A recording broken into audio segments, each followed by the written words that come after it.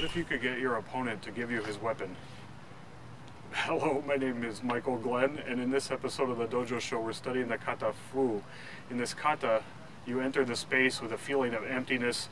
Your opponent cuts at this emptiness, and he's throwing his sword away. Hmm?